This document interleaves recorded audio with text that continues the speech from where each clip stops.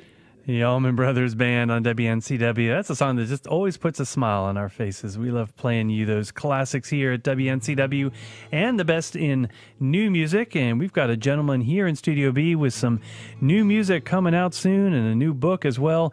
I'm Martin Anderson in Studio B, where live Studio B sessions are brought to you by Sierra Nevada Brewing Company. We welcome back here Seth Walker. Good morning. Good morning. All right. How you doing, Martin? Great, uh, great to see you feeling better now that you're here. All right. And uh, so glad to hear about all the stuff going on here. Uh, let's hear a song and then we'll talk. Okay, let's.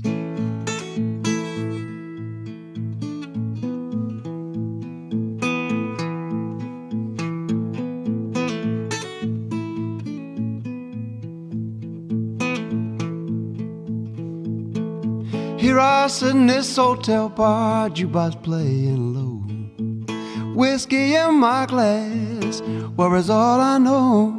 Mm-hmm.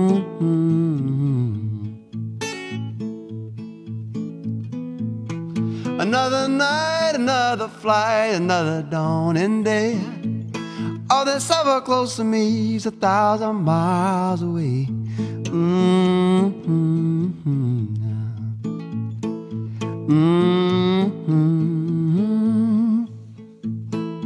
home again. I've been so long since I've been home again. It's been so long now. Mm-mm, home again. Mm-mm.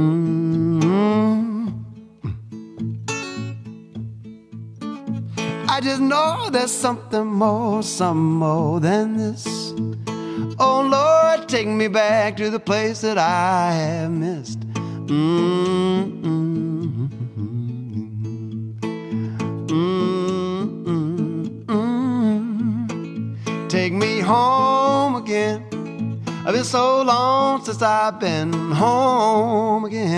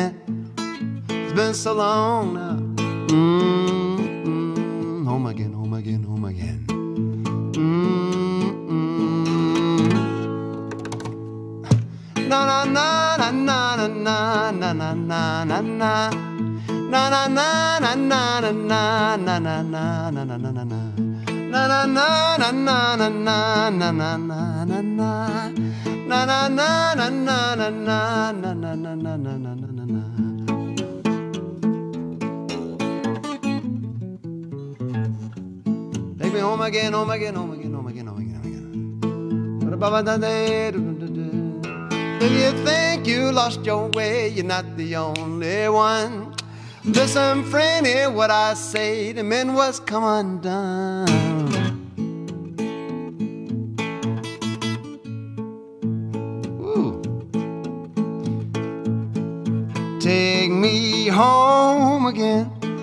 Been so long since I've been home again. It's been so long now.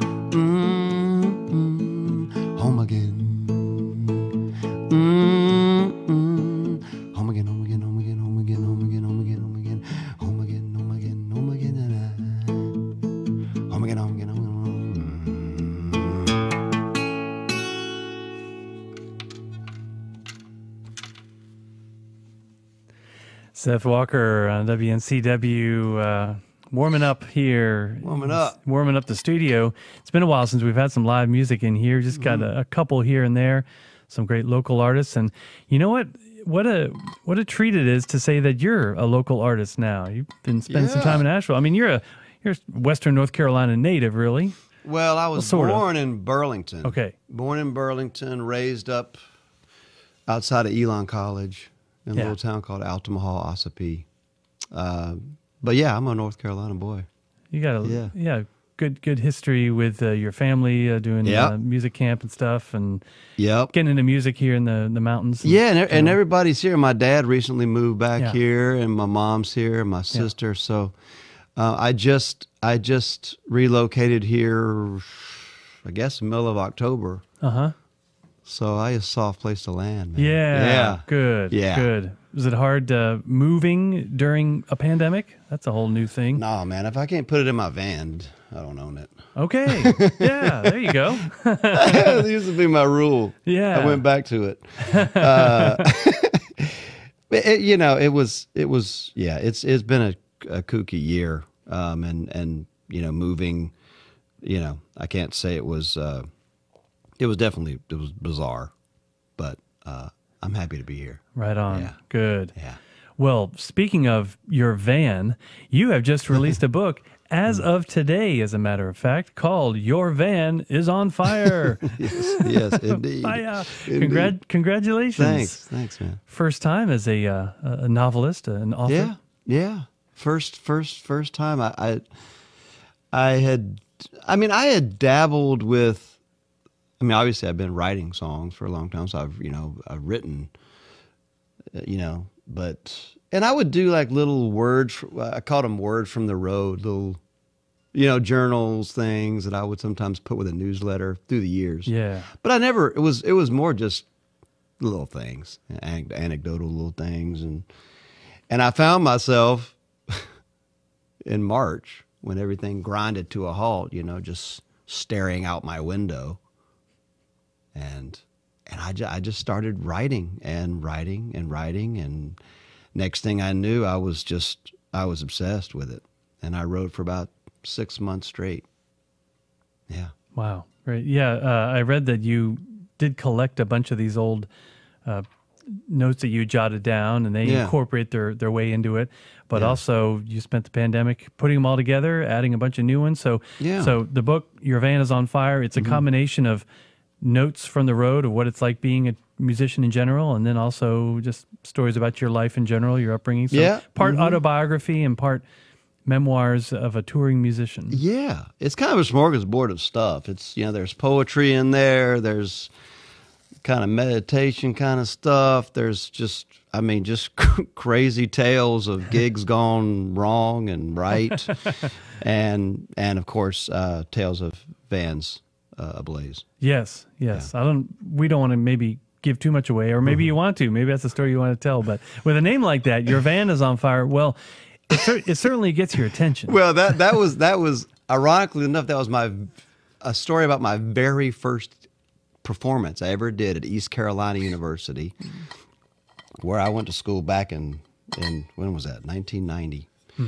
and uh, yeah, I had just started playing guitar, and yeah, it was a little house concert thing at my then girlfriend's house, and and things, uh, yeah, escalated from there. yeah. You'll have to read about it. Oh, we'll have to read about it. well, I tell you, we we have a long tradition here at WNCW of, of using this Studio B to to host artists like yourself, big bands, little bands, solo acts, all sorts of styles, and you know, it's usually talking about the new album, the new this or the new that, or uh, what are your shows uh, like these days? Because you're on your way to a show, but invariably a, a lot of the time on a very regular basis we love asking musicians about you know what is life like on the road? It might be what kind of rig are you all traveling in? Especially with those big bands and we Yeah. hear about like six or eight guys piled together in a vehicle. Well what's that like? Well how much time you got? And, uh, and and all sorts of stories now we have a, a book that we can draw from for you Yeah, That's yeah. great. I mean, it was it was uh, it was it was cathartic, really. Just reliving uh, so much of. I mean, I guess I've been doing this for. My first album came out in 1997. Uh, so I don't know, do the math, but um, just reliving it. Some, somehow I can, you know, like especially my days. Well, my upbringing stuff was fun to relive, but my Austin, Texas days. Uh, I lived there for 15 years. So a lot of the book stems from my early gigs, you know, and just how that, what kind of development that was for me. And, um, and then it's, you know, and then it spills out into life in the, on the road and, and, and how to, you know, how to swing with that. Cause it's a, it's a, it's a, it's a, it can be a slippery, treacherous thing out there. uh, but yeah, it, it was uh, uh, like I said, it was cathartic to write it. Yeah, Yeah.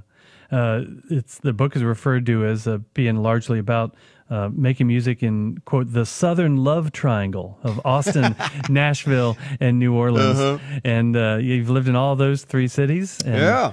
And now, now it's a square or a rectangle. Now you got Asheville. Yeah, yeah, yeah. I mean, all, all of those cities, you know, as I was writing the book, I was just realizing how much a mark they've left on me musically and personally too. But, you know, uh, but it, it was it was cool. I was driving over today, and you guys were playing um, uh, Doc Watson, some Doc Watson stuff, and that's actually the first concert I ever saw. My father took me to see Doc Watson when I was five years old. So it's kind of kind of a full circle coming back up in the mountains and and hearing Doc on the radio coming here. It was cool. Good choice, Mister Walker. Scott, uh, Scott, if you're listening, Yeah, way to go, yeah, taking man. him to see Doc. Oh God, the king.